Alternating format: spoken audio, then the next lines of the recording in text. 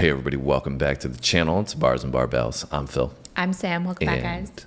Sam has welcomed you back. So we're welcoming you back to more Kiss today. We did Detroit Rock City. It was our first one. We did the studio track, Detroit Rock City, which was really cool. I really like that song. Was good. Um, cool introduction to hear. I guess you know uh, you guys were saying they're more hard rock than a metal sound, and uh, we you know got the musical uh, presence from them. Now we're going to get the performance presence from them. yes, because, I'm uh, excited to see this. because you guys were saying, you know, Kiss is not Kiss unless you see them perform. And this was a recommendation. You guys said the Midnight Special, what seems to be a popular recommendation, the Midnight Special. For a bunch of different grant groups or performers. Yeah, so um, let us know about the Midnight Special, where that kind of originated from, and uh, give us some insights on that. But uh, I'm excited to see what we're going to see from Kiss here and uh, what it's going to sound like because with this is, their personas. yes, and uh, what their sound is going to be like live. So, uh, you ready to check it out? Yeah, let's do it. All right, let's go.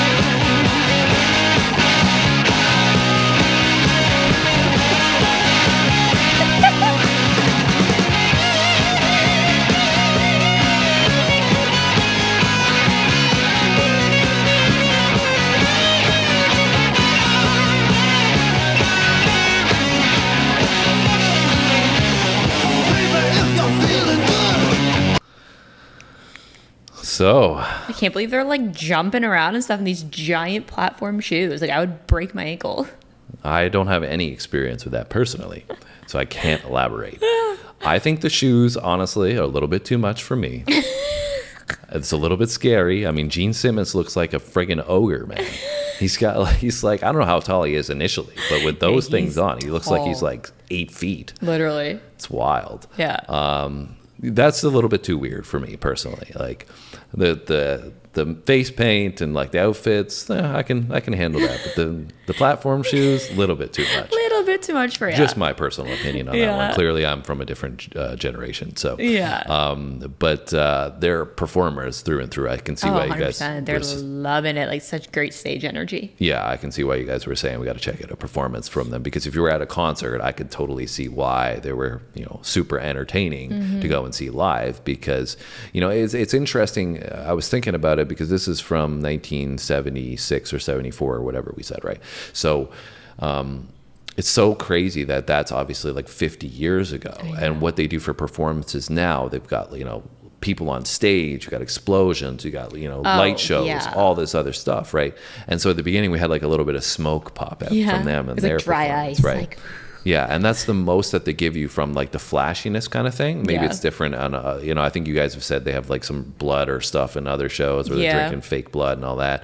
Um, so I don't know if they're, we're going to get into Maybe any. some lasers. yeah, I don't know if we're going to get into any of that on this one. But uh, my point was I was going to get to was that, you know, they're sh- doing the performance and the entertainment from what they're doing on stage. Yeah, them, themselves, right? Yes. From moving with the guitars, going back and forth, playing the guitar, showing the energy, you know, you know, with their creativity in their outfits, right? Rather than relying on nowadays, like I said, where it's, you know, it's special effects. yeah, it's all the glitz and the glamour and all that. So it's just Yep. crazy I had to see the the transition of the performance aspect and what they were doing and Like they don't they even really have any like props or anything That's on what I'm saying. stage aside from just their name at the yeah, that- that's what I'm saying, right? It's it's vastly changed, but I think now we focus less on the music and more on the visuals, right? I'm still focusing on the music on this one. Yeah. And I'm being if I'm being completely honest with you, like I am enjoying seeing them do their thing, but I almost find it distracting.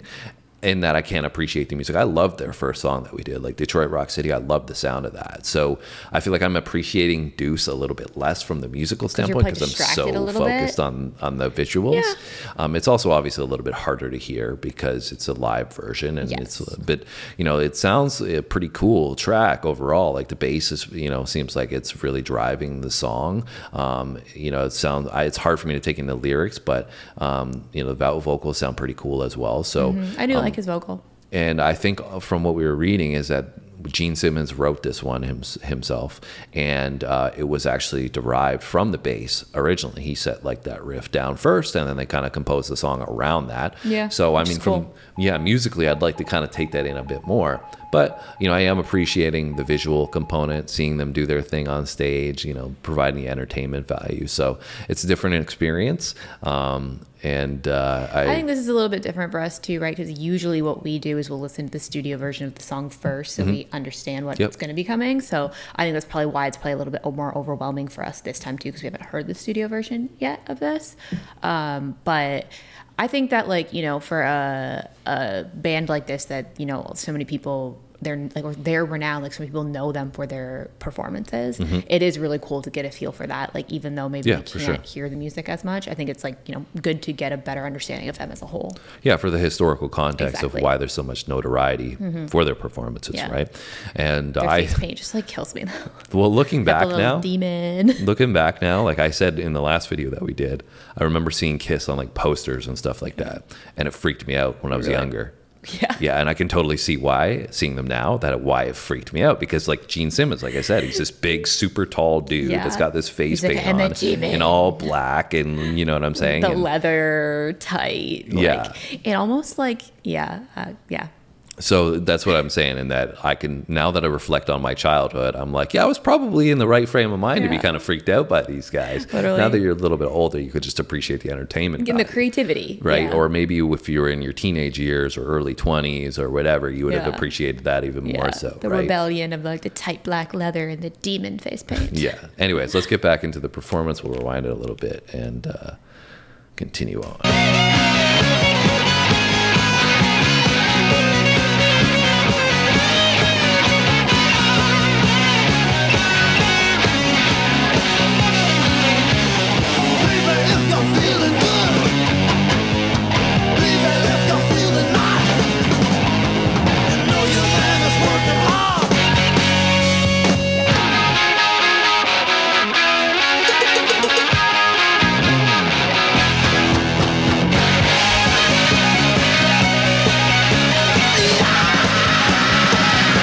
Uh!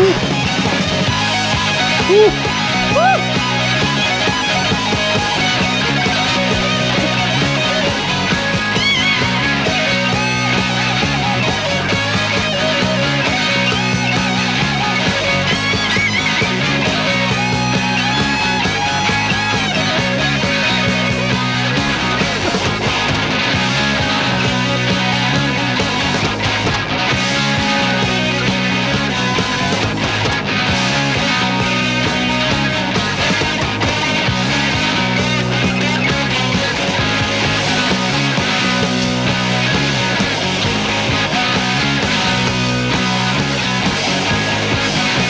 That's pretty cool.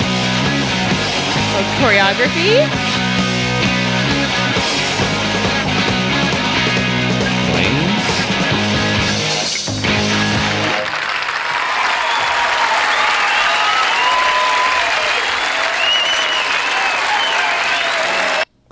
That was pretty cool because I, I don't know if I've ever seen that where choreographed they're playing the guitar together because that's not easy right to be moving and playing the guitar all in sync while you're doing these chords Yeah. and stuff Especially right when you're all doing different pieces of it. Right? yeah exactly Yeah. right and you're so you're keeping the rhythm of your choreograph with the rhythm on the guitar Yeah. at the same time right so You also had a little bit of the extra special effects there at the end with the flames. yeah had some flames coming out Yeah. and uh Also, like I'm extremely impressed with their jumping and their Right. dance moves. I could not he do stu- that. he stuck that landing pretty yeah, well when he jumped there, right? I I could not do that. So well you'll never see me finding out about that i'm just saying but uh you're gonna see me trying to practice in the bedroom. I'm gonna like roll my ankle.